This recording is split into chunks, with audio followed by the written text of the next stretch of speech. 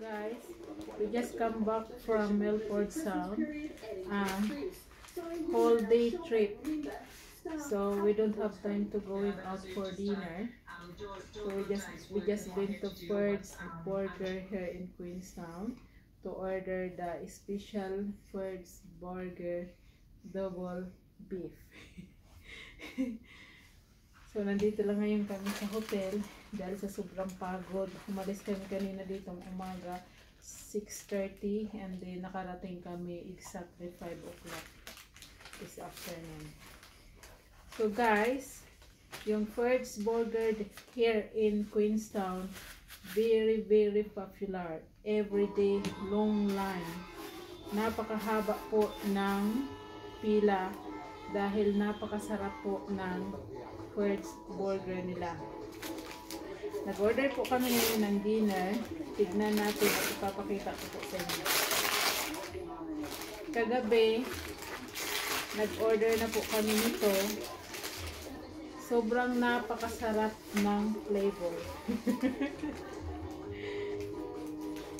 At ang laki po ng burger nila. This is huge burger. Masarap po ang flavor nila. Ito. Special Ford's Burger. So, haggard po ako tignan kasi sobrang nakakapagod. Tikman natin. Ang laki-laki po ng burger na to. Medyo dark ang bed ito.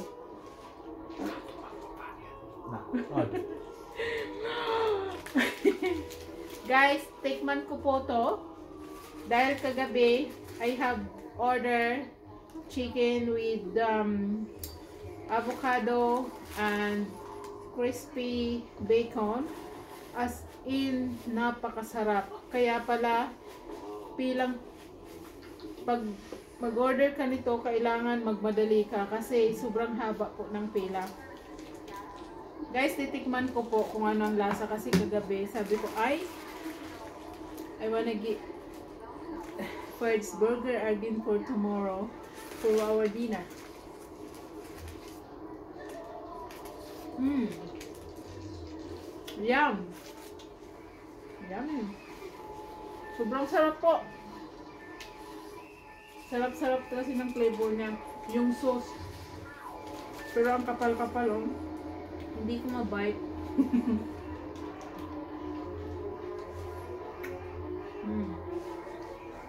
Yung flavor ng grilled beef burger. Din ang sauce nila. Napakasarap po ng combination. Kaya pala sabi ng mga kaibigan ko na um, galing dito ng Queenstown, sinabihan nila ako na try to order the Ford's Burger kasi mapapawaw ka talaga. Totoo. Sobrang sarap po. Kaya pala ang haba lagi ng pila everyday.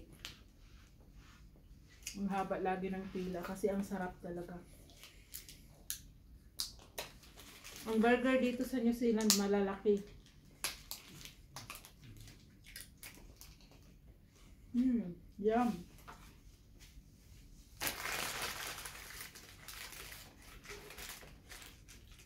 Ang sarap-sarap ng ng sauce nila.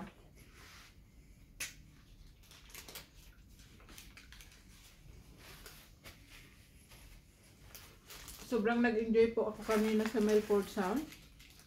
As in, cross yun. Pero, solid talaga ang pagod. Tama nga ang sabi ng mga kaibigan ko na galing dito. Um, whole day.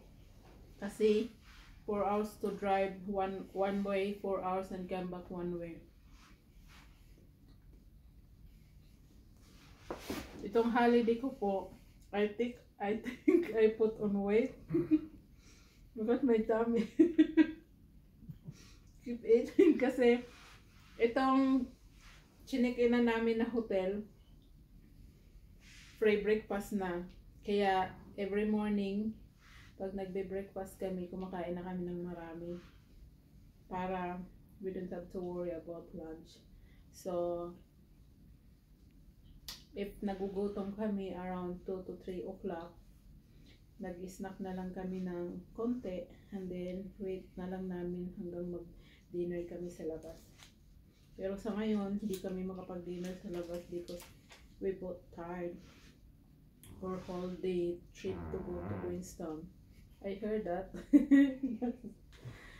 yung vlog ko medyo malabo ng konti kasi ano na what what time is it? Probably 7 o'clock na time. Pass. Guys, ito po yung burger na nyo po. Mm, napakasarap po. Nakita ko po sa inyo, hindi ko mabite kasi sobrang laki. Sobrang sarap. Kahit pag pumunta kayo dito sa Queenstown, babalik-balikan nyo tong Ferd's Burger. Kasi masarap talaga ang lasa nyo.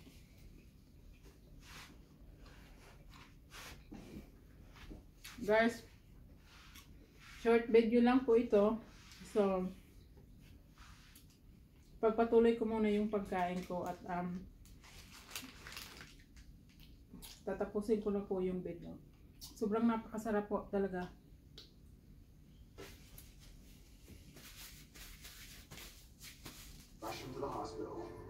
Bye for now guys.